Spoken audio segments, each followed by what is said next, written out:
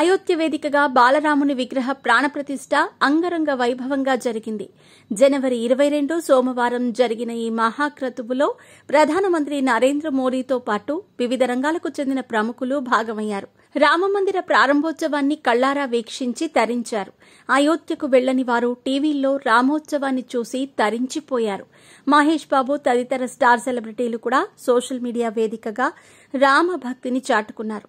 అయోధ్య రామమందిర ప్రారంభోత్సవంపై అందరికీ శుభాకాంక్షలు తెలిపారు. ఈ నేపథ్యంలో బిగ్ బాస్ తెలుగు ఏడో సీజన్ రైతు బిడ్డ అలియాస్ పల్లవి ప్రశాంత్ అయితే తనదైన శైలిలో వినూత్నంగా రామభక్తిని చాటుకున్నాడు.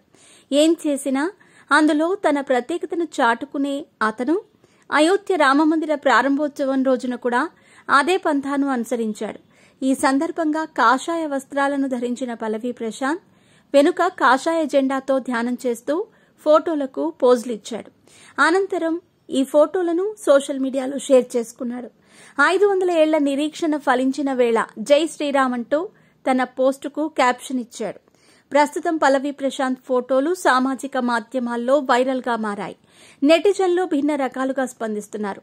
ఇక కామన్ మ్యాన్ కేటగిరీలో బిగ్ బాస్ హౌస్లో అడుగుపెట్టాడు పల్లవి ప్రశాంత్. తన ఆట తీరు మాట తీరుతో ఎంతో మంది అభిమానులను సొంతం చేసుకున్నాడు. మహామహులైన పంతొమ్మిది మంది సెలబ్రిటీలను కాదని బిగ్ బాస్ సెవెన్ సీజన్ విజేతగా అవతరించాడు.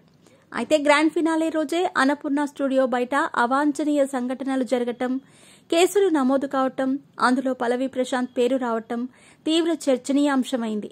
ఆ తర్వాత రైతు బిడ్డను అరెస్ట్ చేయటం చెంచల్ కూడా జైలుకు తరలించటం బెయిల్పై విడుదల కావటం తదితర సంఘటనలు రైతు బిడ్డను తరచూ వార్తల్లో నిలిపాయి.